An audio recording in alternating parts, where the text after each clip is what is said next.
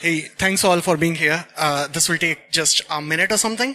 And uh, before we start, I think we are like, um, I think I, I can start. So, hello all, I'm Himanshu, and uh, I'm uh, working as a security researcher since last uh, 12 years.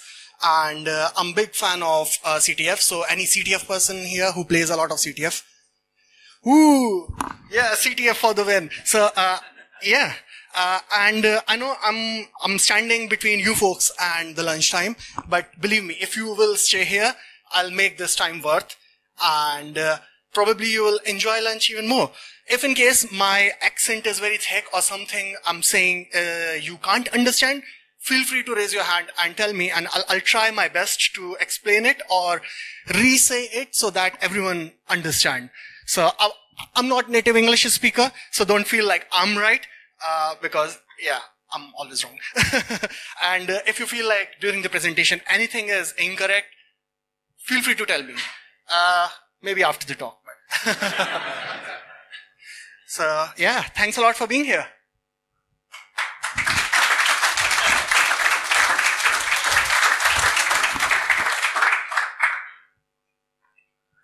Ooh, this walking.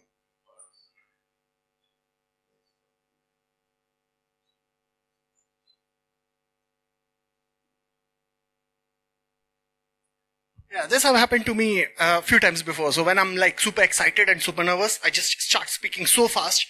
And if if the talk is for 45 minutes, I probably end up in like 20 minutes or something. So I'll I'll try my best to be slow and descriptive because after the talk, I always feel like, oh no, I missed this, I missed that. I, I don't want that. So I gotta give you a formal introduction first. So yeah, we're finally here. Welcome. Himanshu, I love the energy. I love the motivation. Welcome, sir. Uh, from what I understand, this is your first public talk as well. Is that correct? Uh, no, not really. So this is my second this year. I talked in the Black Hat Asia this year. Beautiful.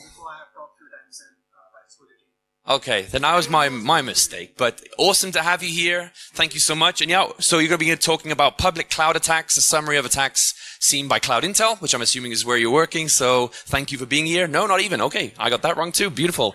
Enjoy the talk, and I'm doing good today. Huh? Uh, thank you, and yeah, be lunch after, but looking forward to it. Thank you. Thanks for the nice introduction. So, uh, uh, Cloud Intel is, is something, uh, my personal project that I started almost a year back, and I'll, I'll talk everything uh, while this talk proceeds. So cool. Uh, so this was supposed to be a joke, which I already have. So maybe we can skip past it. All right. So uh, who am I? I'm, I'm I've recently started working for c/side, uh, which is a very small company, like smaller than the smallest we are, pre-seed company. So, uh, but we have a few products. So, uh, if, if you folks want to try it out, it's for web security. I play a lot of CTF. I play with WaterPaddler and uh, uh, I'm kind of professional who thinks red but uh, behave uh, blue. So the the idea is like uh, do the attack on your control environment, know everything about the attack, and using that attack develop the detections, protections, so that you can protect your company, your customers, and maybe your family as well, because you know when uh, they might get infected. So this is us. A big shout out to my team. Uh, we were number one on CTFtime. For those who don't know what CTFtime is, it's like IMDb, but for CTF. So last year we were number one, and I'm really proud of it, of my team. I'm shit. They are good. So, alright, cool.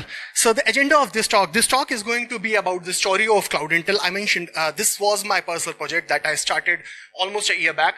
And uh, during multiple iterations of this thing, I come up with a uh, with a learning, and that's pretty much what I want to share with all of you folks, so that uh, so that you folks can use the learning and implement it if you are in a corporate environment or you are managing something, or if you're not managing something, then maybe at home. I don't know who maintains a cloud infrastructure for home, but yeah. Uh, so I'm, I'm, going to, this is the agenda. So I'm going to talk about story of Cloud Intel, key uh, milestones, uh, and transition of the, uh, transition of the Cloud Intel, how Cloud Intel moved from where it was last year and where we are right now. Then I'm going to do the comparative analysis between the past infrastructure and new infrastructure. Then I'm going to do some data analysis, the data pointers, what we saw in Cloud Intel. And uh, yeah, let's, let's dive in. So overview of Cloud Intel. What is Cloud Intel? Uh, interestingly, during my, uh, last 12 years, uh, what I have realized, uh, like cloud was very new when I started in this industry. And what I realized, the, at first, uh, my understanding of cloud was like, it's like just any other infrastructure. But it is not. Uh, the traditional infrastructure and the cloud infrastructure, there are some changes, some attacks works on traditional infrastructure, but in cloud, the attack surface, the malware, the the way how attackers move laterally or how they achieve targets are, are completely different. And that's when I thought about, okay, cloud intelligence can be a separate thing in itself. And right now, if you look at the industry, everyone, like even it's free, open source or paid products, no one is exactly talking about dedicated cloud intelligence. People are talking about intelligence on Windows, intelligence on IPs, intelligence on many different things, but no one is talking about cloud intelligence specifically, and that's why I started this project. So threat intelligence on public cloud looks a lot different than on traditional network. So introduction to Cloud Intel. Uh, so uh, with my last experiences, what I realized, the intelligence can be generated. And what I mean is, at the end, all the intelligence companies need some data points and using those data points, they do analysis on top of it. So example, uh, if there is an IP, what kind of connections, what are uh, what IP other IPs are making connections, what kind of exploits they are seeing, and everything. Looking at all those things, what they do is they aggregate the content. They find out, okay, these are the known attackers, these are the scanners, these are the security companies, and blah blah blah, and then they come up with the idea. Okay, one single request out of those, like once in few years, come out to be zero day, and that's what they blog about. So this is what I'm trying to say that intelligence can be generated. It's time consuming thing, but it can be generated and that essentially what I'm doing with Cloud Intel. So uh, in Cloud Intel, what I am doing, I'm generating all this intelligence, all this data, and I'm putting it on my cloud environment. So it can be consumed using API and it's all free and open. So if anyone wants to see the data, what I have, just go and use it. Uh, there is a, there is a demo key or if you want any key specific for you, like there is no rate limiting or nothing. Uh, I'm a security fellow, but I don't care about rate limiting because, because I feel like no one is going to abuse this thing. And when they will abuse, essentially I think I can do, but this is something generated for the community and community can consume this. So that's the whole idea. So it's free, open, no need to share any information, just make an API call. So that's how I'm doing. Uh, mission and objective of Cloud Intel. So delivering consumable threat intelligence feed. And what I mean with consumable is like, it's not about just writing the blogs and just doing the telling, oh, I saw zero day. I saw this. It should be consumable. Consumable in a way that whatever threat intelligence I am generating, it can be directly used within the corporate or within a company so that they can directly take those things and put it directly without having like paying money without leaking their personal information or without uh, being like too much pain, like install this on your infrastructure or do this or do that. It should be like pure simple threat intelligence and it should be the user's idea how they want to consume it. So that's pretty much it, uh, my idea. So this is very specific to public clouds. Uh, I want to mention right now my infrastructure is only for the AWS cloud, but the idea is to extend that. And why that is, I'll, I'll go in detail later. And uh, key highlight and achievement and recognitions. Not exactly recognitions, but yeah, uh, I'm proud of this my this project. So, so um, I want to share this. So essentially, uh, I got like 200 plus stars on this project, which is like this is my first ever talk for Cloud Intel anywhere. So I have never tried to advertise, never tried to talk to anyone, and this just happened organically by default. Like people started looking at this, recognizing the project, and they started doing stars, asking questions, and uh, yeah, this is on GitHub. Uh, so this is something what I found very interesting because this blog came out on 21st of November 2023 where Akamai says that they found a new botnet for Mirai, uh, which was spreading using zero day. And this is me tweeting the same thing after two days because it's just me I'm lazy. So after two days, I realized, oh, I had a zero day intelligence. Okay. No one else used that. But after getting this blog from Akamai, I did the retrospective analysis on my dataset and this is what I found. Uh, another thing, this happened on 30th May. So today is 8th, I guess, 8th of June. So a few days back, they talk about RedTail crypto miner. And this is the thing what I found in my key highlight. So you can see the same malware, the same payload was already available on Cloud Intel. So uh, if anyone have been using Cloud Intel, essentially they don't have to wait for anyone else, any third party blog to write or any vendor to publish anything. They can just go and fetch all this data and they already can incorporate this within their network. So that's the idea. Uh, the genesis of uh, Cloud Intel. So story, uh, as I mentioned, I started like uh, one year back and this is how I used to share the data points. This is like very vague, very vague. Uh, reason being, I had no idea what people are looking for or what I can deliver to the folks. So I just started with this. And this is the current situation. So every day I'm pushing these uh, data points on GitHub. Uh, and for now, like since 2024, I'm doing this like every day. So every day you can find new intelligence, new data points, uh, which is fed on GitHub. And this is how it looks like right now. So this happened on 3rd, 3rd of June. So uh, essentially what I'm doing on GitHub, there are top five IPs, what I have seen, the malwares, what I have seen, and uh, the exploits and uh, the, the code getting executed, all the malware behavior. That's what I'm sharing. So on the top, you can see the IP. Uh, on middle section, you can see the malware and bottom section, you can see the uh, exploits in this case. But yeah, this is not still not consumable because uh, no one no one wants to do this much of data processing before consuming these IPs, and it makes sense. So why I'm doing this? Uh, I'm sharing this on GitHub so that this is more like a teaser, so that if someone wants to see how the real data looks like, they can understand the crux jinx of this, and once they have the understanding, they can go to the API, and from API, these instead of five IPs, I think I'm sharing all the data, which number varies. So 200, 250 IPs every day, uh, all the malicious uh, list, what I have seen in the past. So yeah, uh, cool. So this is very dedicated to public uh, cloud. Uh, threat intelligence available, already mentioned. Attack surface. So, uh, as I mentioned, the attack surface on the public cloud is a lot different than the traditional network. And that's why we need something specific to public cloud.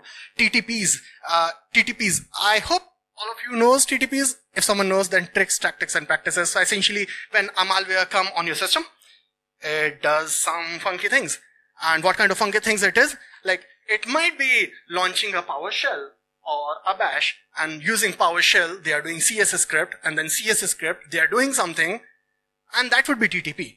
So at the end, how malware is doing anything funky on the system most of the time they do this to evade any forensics evidence or to evade antiviruses, EDR, and those kind of things, or logging. Uh, so those things are essentially known as TTPs. How the malware is behaving, or a group, how a group operates. For example, they some groups use zero days, some group do uh, phishing attacks. So yeah, essentially all these are like part of TTPs. And the last thing is logging and detection mechanisms are different. So in cloud environment, we have, I'm, I'm talking about AWS. So in cloud environment, we have CloudTrail logs. And cl- how CloudTrail logs works, they have API calls. And in the logs, we get those API calls. So the detection mechanism using those API calls or those CloudTrail logs changes things a lot. And that's why we needed something very specific to the cloud. Cool? And I don't know why I'm saying this multiple times, but yeah, same thing again. Okay, so initial challenges and motivations. This is going to be interesting. So I mentioned why I am doing it only for AWS because of the cost. Uh, in the beginning of uh, my Cloud Intel project, I was spending like $500 every month uh, just to keep the infrastructure alive. And being an individual, I'm not sponsored. It's not a company. I'm not making any money. So I'm funding everything by myself. And I just named this project as Cloud Intel. So I think $500 every month is relatively expensive thing.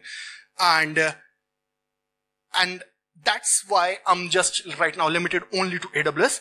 Uh, I probably will move, so I'll not keep it constrained. But yeah, time, time is another thing. Like I mentioned, the data uh, pointers, what we get from within the cloud uh, Intel is is a lot of data. And in previous slide, what I showed, the zero day was there sitting within my database, but I was not able to mine it because of the time constraint. And time is a thing which no one exactly can do anything about. Like, it's gone, it's gone. You have limited time. So it's the worst kind of currency, I would say. It's, it's not, you can't earn it. So that's the problem. Signal versus noise, essentially the same thing that we have a lot of IPs, but mining that one single exploit, what really matters is hard. It's, it's not an easy task. So that's the problem. And uh, the motivation was cloud specific attacks, real attacks and TTPs on the cloud. So I, I got a cool story about this. So I'll, I'll, I'll share later. Uh, cool. So key milestone. Uh, so initially what I did, I approached this, this project with the honeypots. And I, I believe everyone here probably know about honeypots. If not, then what honeypot is, it's like leaving your wallet on the, on the counter of pub after having a couple of drinks and then putting a camera there and waiting. If someone picks your wallet, that means that person is a thief. Maybe not. Maybe that person is not a thief and just trying to save you, but uh, that's how honeypot work. They, they deploy something intentionally malicious or intentionally vulnerable so that other folks can attack and then you will generate intelligence. Sounds like a good idea. Honeypot's been around since last at least 10 years. That's what I know. But yeah, it's been there for more longer time. And this is the honeypot, T-Pot, one of the most famous honeypot. And this is from where I started.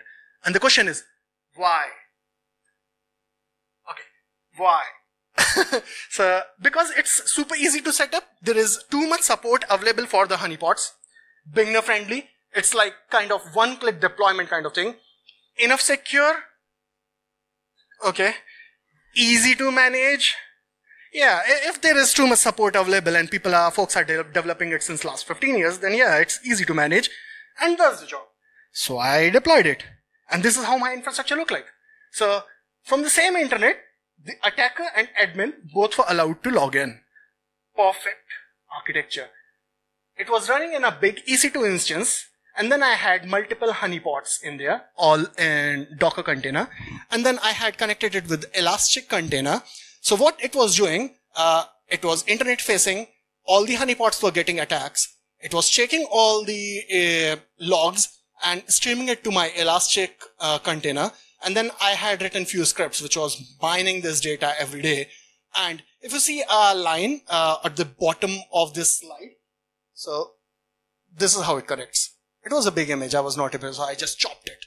So uh, what it was doing, it was pushing the content to R2 bucket. Okay, interesting. What is R2 bucket? Uh, so I used to work for Cloudflare, uh, and uh, R2 is S3 competition, kind of. Uh, so that's why I was using R2 bucket because I was way familiar with R2 than S3. But yeah. So and then uh, I had created an API on top of it using Cloudflare workers. So the end user, what they were doing is making a API query to the workers and then in return workers was fetching the data from the R2 bucket uh, and that data was coming from this honeypot. Easy, right? Moment of realization. Honeypots specifically have static configuration. Okay, what I mean with that? I'll show you. So if you look at this, this is a slash etc slash password file of honeypot of name uh, Cowrie and you will see a gentleman named Phil. And this person is very common in all the Cowrie honeypot. Okay. Not biggie. But attackers also know this. So when they log in to a honeypot, they check slash etc slash password file and they know Phil is present. So it's a honeypot. I'll not drop my malware there. Why? Like it's, it's useless. Uh, no. Another thing, host name svr04, which is very common. Alright, for, because this is static. The CPU information is also static. Okay. So that means what I realized was the results were predictable and any attacker who comes on the system, they does run few commands and they figure out this is a honeypot and they just exit. I don't get the intelligence and the whole project is about intelligence. I want more. So easy to detect. All right. Attack chains are incomplete. They come, they log in, they run few things and they find and then they exit. Sad. And mostly scanners. More sad. Why? Because everyone knows about scanner, right? Uh, GreyNoise and so many intelligence, but yeah. So, as a security researcher, what I should do? These are all static configurations, so I can change them. Yeah, that's what I did. Update timeout.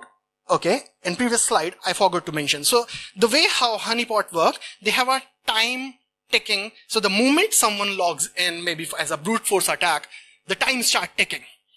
And they give you two minutes to five minutes, which is also a configurable time that a user can log in, be logged in, and then they kick them out. So this is what I did. I increased the timeout. Fix system settings. Okay. Uh, I changed the static files. All right. Added few more shell commands. Now, uh, honeypot is emulation. It's not exactly the system.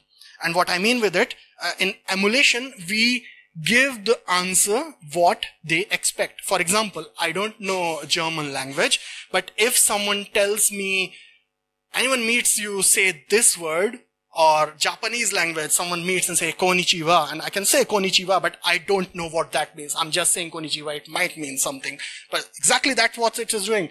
It don't know what the command is. It is just emulating, just throwing out the results. What is I'm saying? And after doing this, this was another second moment of truth. These kind of commands I started getting on my honeypot. This is very interesting because this was the next step. The moment I updated the static configurations, I started seeing new commands. But there is a lot going on here. Too many things. And if you look at this, what the attacker is trying to do, they are running all these commands, some sensible, mostly non-sensible, just to get the behavior of the honeypot so that they can understand are they still inside honeypot? And if a command which is not emulated, they will get alert and they'll say, okay, we know this is honeypot. Alright. So issues. Too many bypasses. You can't, simply can't emulate each and every shell command. Super easy, still super easy to detect. Another problem, I'm working on cloud intelligence and only I can emulate the EC2 instance or compute instance using Honeypot. I can't emulate other cloud service. And there are like thousands of service available in cloud. So do I have to write everything? And and at the end of the day, I was sitting on few extra commands, but less attacks. And none of them were too sophisticated. It's like blah. Alright, so this is me coming with honeypot and then let's bring the real thing. Okay? So what I decided, I'll move everything to the real system. And instead of using the honeypots, I will deploy the real EC2 instance. The question is, why?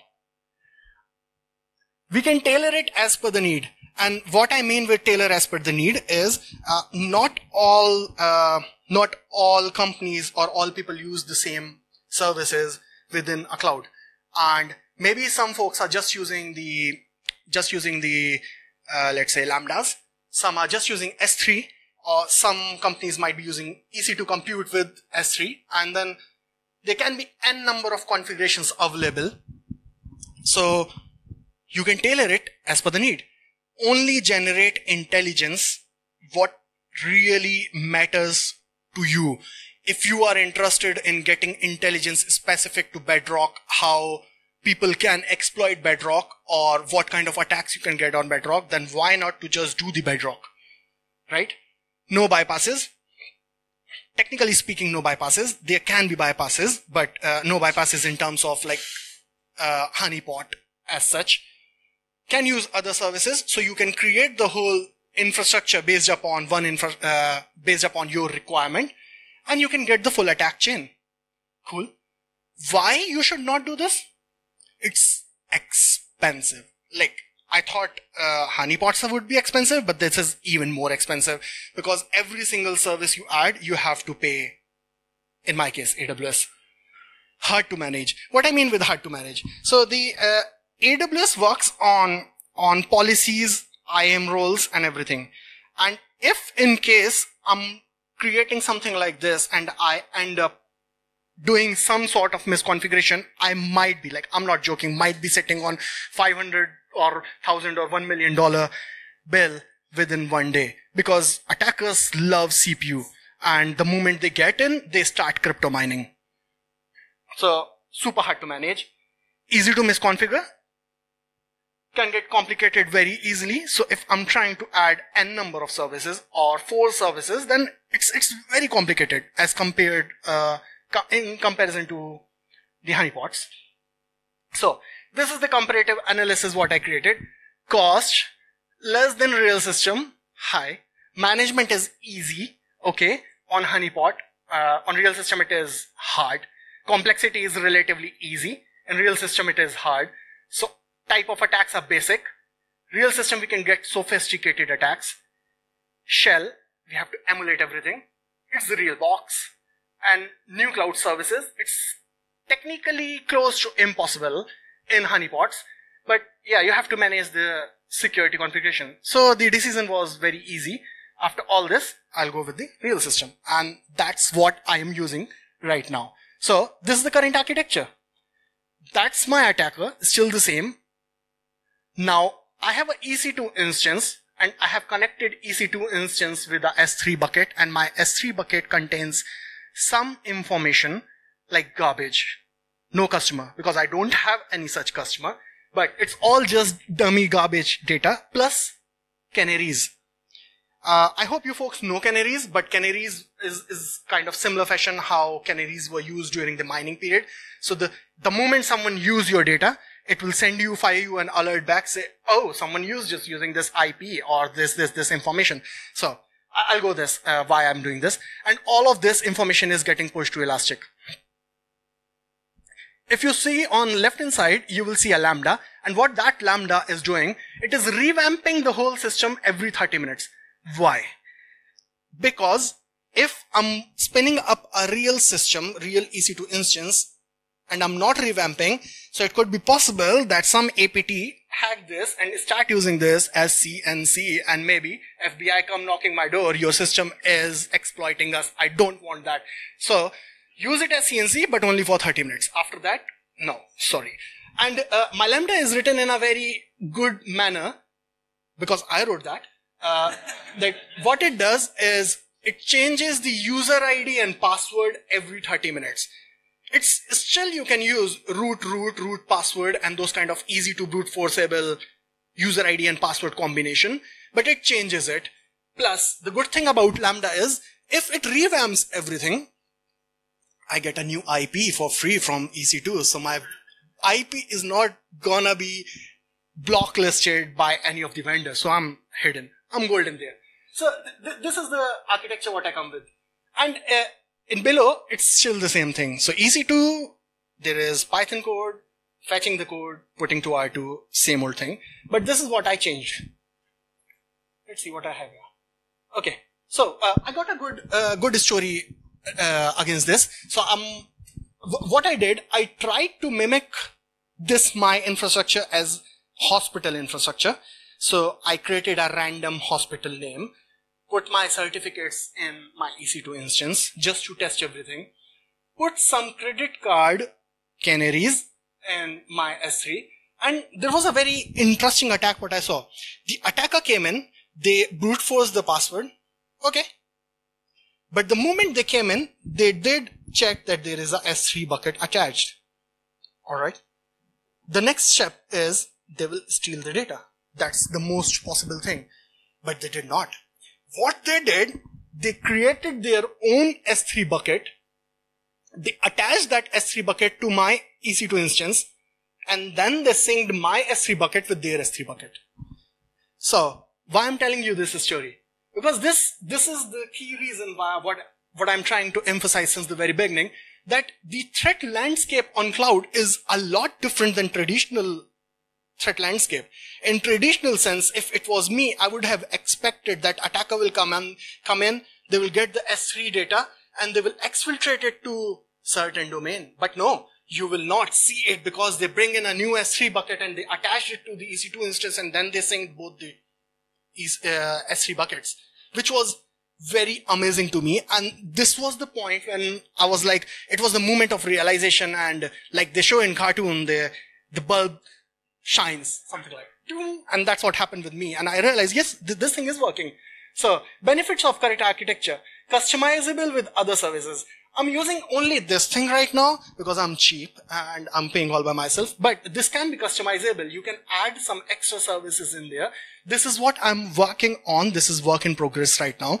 So once we will add other services, we can see more interesting behavior of the attackers, not just related to EC2 instance, not just related with the S3 buckets. We can add other services in there and we can see how attackers are going there and exploiting other services. For example, SageMaker. So SageMaker consumes a lot of CPU and everything. So this is just a hypothesis. So I haven't seen this, but why not they go and misuse SageMaker for crypto mining? Is that even possible? I don't know. But I'll never figure out until unless I'll put a SageMaker machine out in the wild so that someone else can go and exploit it. Or I can wait someone else to write a blog. But no fun in that. I'll put a SageMaker online. Yeah. So, benefits of current architecture, customizable with other services, track adversary for every keystroke. Now you have the access of the system, so you actually can see what exactly they typed. And you're not doing anything illegal when you are monitoring these attackers because these attackers are illegal. They shouldn't be there first. So if you're monitoring it, yes, do it. Uh, mimicking a behavior of big corporate. And what I mean with this, uh, when I, when I put the certificates of the hospital this same thing can be done like the same architecture can be taken by any corporate and what they can do they can mimic it. They can put their own certificates. They can put their own dummy data and they can monitor these infrastructure for new attacks any any advanced threats or anyone. So any scanning you can remove those things. Anything known, you can remove those things. And at the end, when you will be sitting, when you will have like a clean set of data, you will be sitting on a intelligence which is very specific to that company. And no risk of IP getting exports like honeypot because uh, honeypots are like a lot of times when you just do a nmap scan, you will get, uh, okay, this is potential honeypot. There are NAC scripts which will just tell you, okay, this is potential honeypot. So no such kind of risk. Isolated network for attack monitoring. Uh, and why i'm saying isolated? Because th- this was uh, this is what i have thought everyone would be worried about. So why you need to deploy this infrastructure within your account? You can create another account a fake dummy account and deploy this over there instead of using your own account or your own corporate uh, to deploy it. So you can be isolated no attacks can jump from that account to your account and you're golden right so data analysis. Uh, this is what I did. So I have hosted uh, right now. Uh, I got two services on there. SSH and Telnet service, these two services. Then I have a ADB service uh, sitting on my real system at the moment. And then I'm using Suricata for analyzing these attacks because I'm lazy and I don't want to spend too much time on analysis. So this is how it looks like. And it looks very bad on this big screen. I just realized. I apologize. Uh, but uh, try to make sense of this. Like, uh, this is Asia, and all the big attacks are coming from Asia, and here it is USA, and on left hand side you can see the uh, cyan color of bubble, big bubble, and what exactly it means is uh, these these these connections from the US side, they were most of these were security companies who were scanning the internet. Uh, I don't know why they have their own reasons, but uh, maybe Censys is the company name, or similar kind of companies who maintain the uh, sorry, someone mentioned Censys. Yeah. So they maintain the database. Uh, so maybe like that. Same thing happened in, in UK as well. They're not malicious because I'm living in UK, so I'm keeping them under control. Uh, but yeah, so most of the attacks what uh, we we saw is uh, on the east side. This was not very interesting.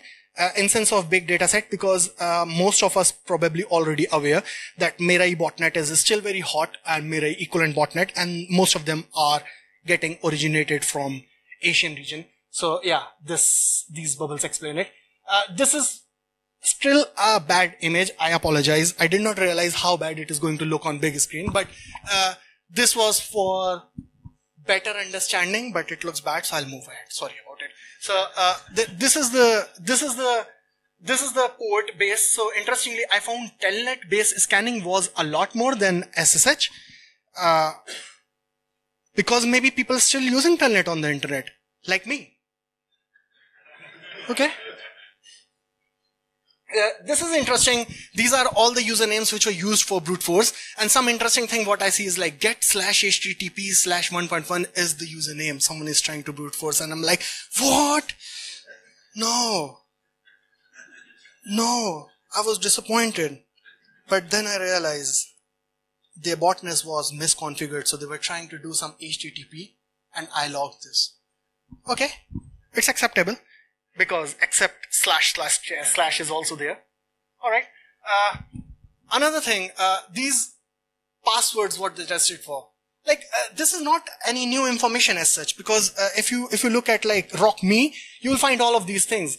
Interestingly, it's just point that so many misconfigured devices are still on the internet with their default username and passwords. Because if you look at here, uh, you will see that Pi, Pi is still here. If you see right over here.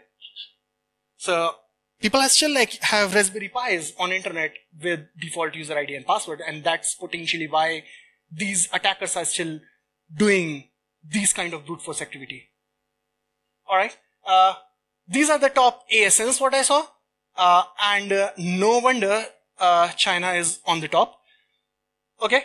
And interestingly, you can see some DigitalOcean and Google Cloud platforms also came up. So maybe used maliciously or could be could be scanners, their own scanners. Who knows? Uh, have to dive in. But yeah, th- these are more like data points. What I'm trying to share, what we saw with CloudIntel, right? This is an interesting one. Command line input. I talked a lot about honeypots.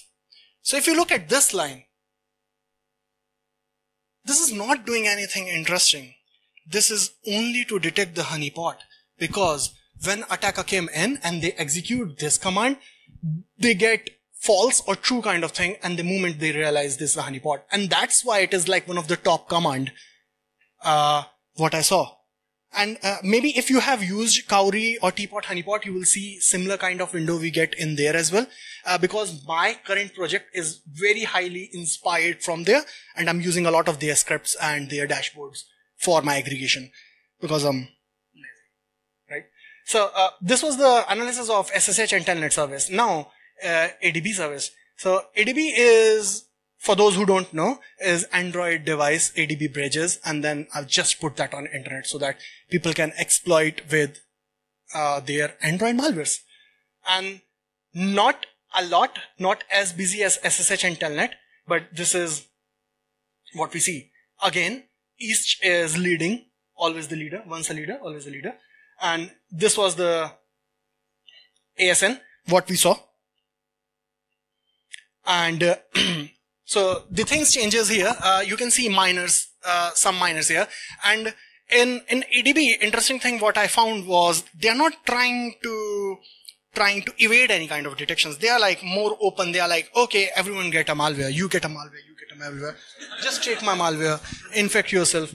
Uh, and I don't know how much they can actually make using a miner on mobile phone. Like, I'm no expert in this, but I think they're not making much. But yeah, I'm not there to judge them. Cool. So Suricata hits.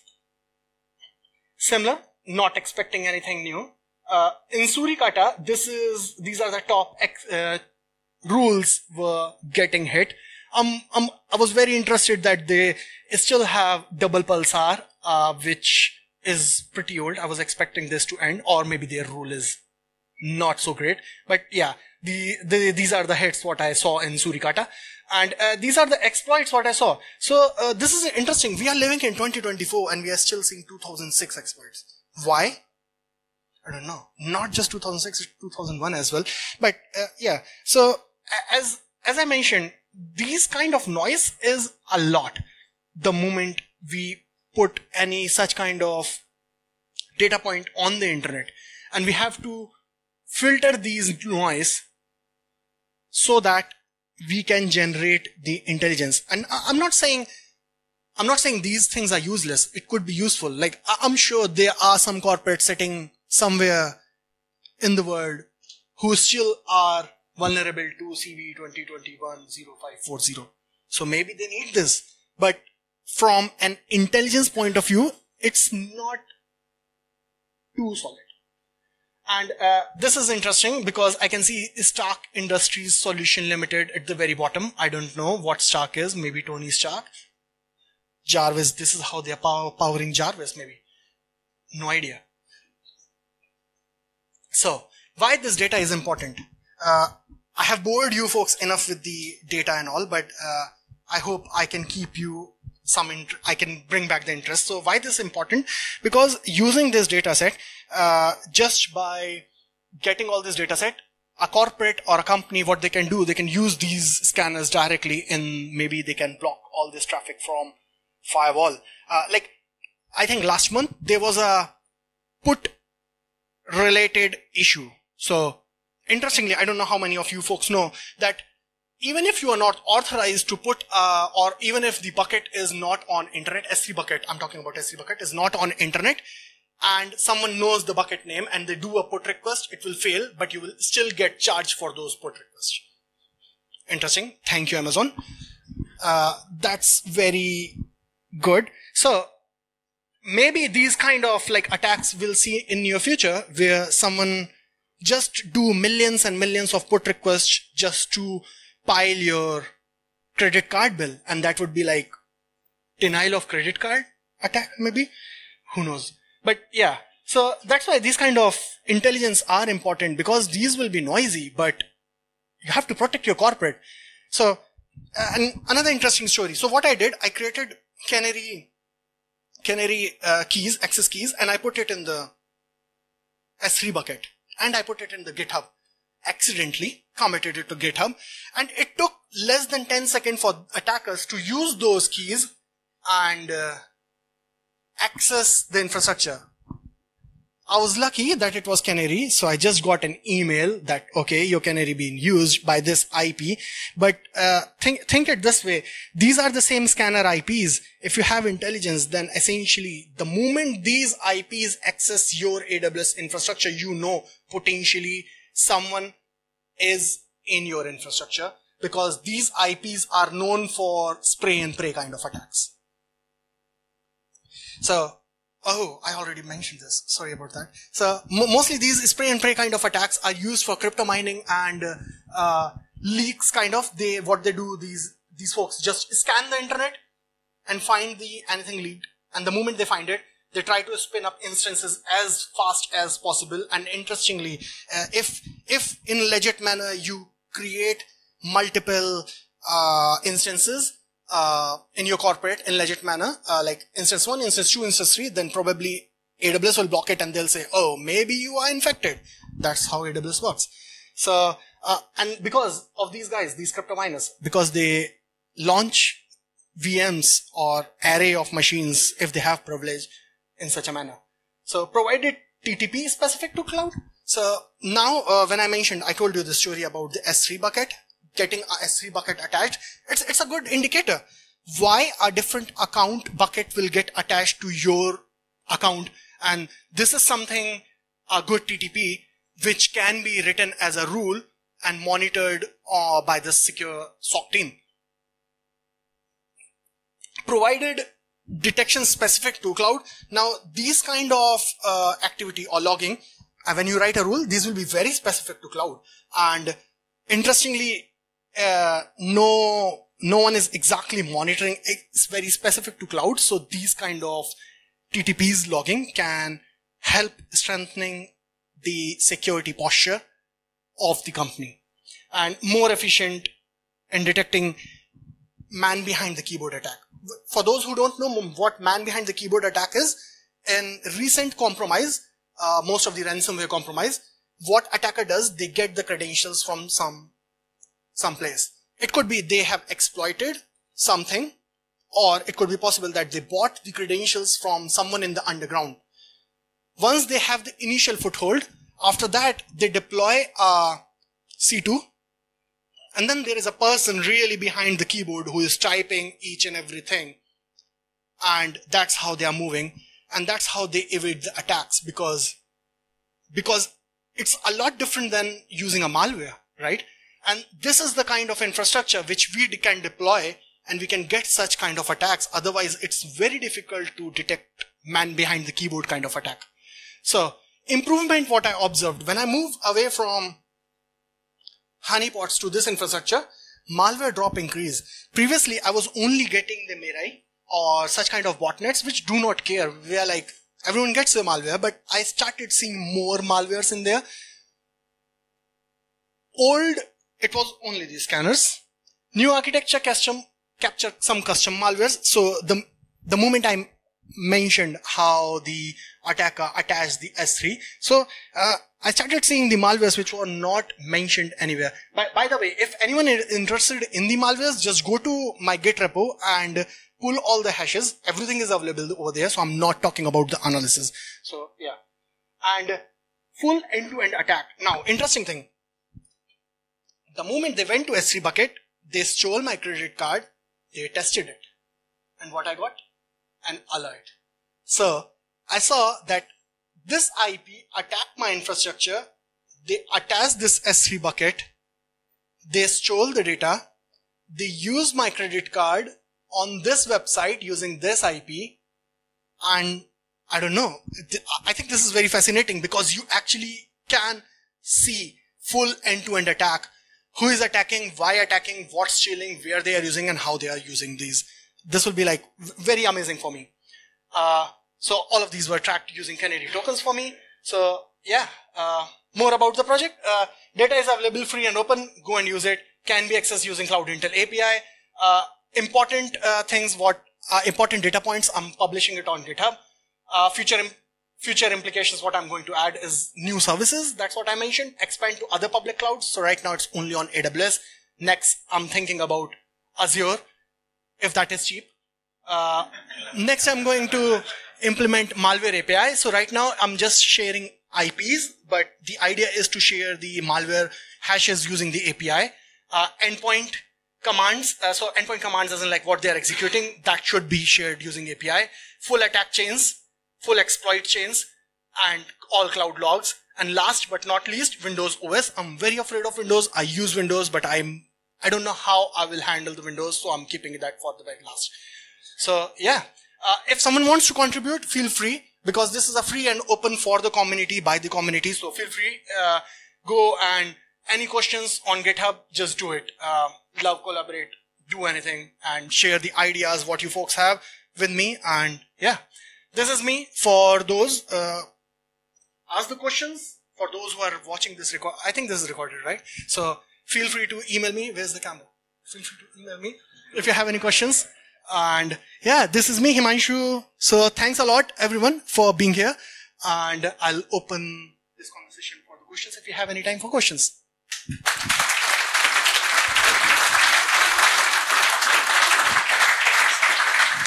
Thank you very much. Yeah, so uh, we do have a couple minutes for some questions if anyone has any. Uh, and then it is lunchtime. I have a few announcements just before that.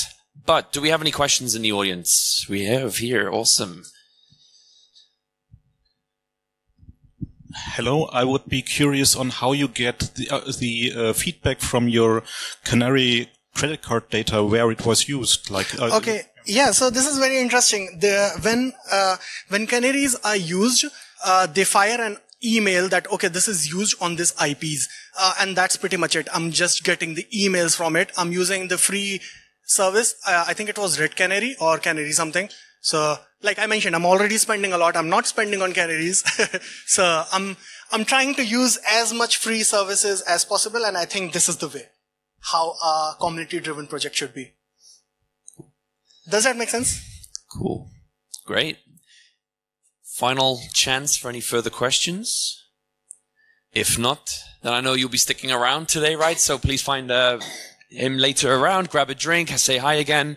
And so, yeah, we are done for the morning, guys. Uh, it is now lunchtime. I believe the lunch is already open, so that should be great. We can go up. Um, for those looking for dinner and a show, we actually have in the main hall, uh, the lock picking village have a live contest happening. So if you want to see guys trying to escape uh, through various means from from handcuffs and other things, and they're going to win some prizes, you can watch and eat at the same time. Awesome. Food and drink available, and then we will come back again in roughly an hour for the afternoon sessions. So enjoy your food and have you enjoy break. Cheers. Thanks all.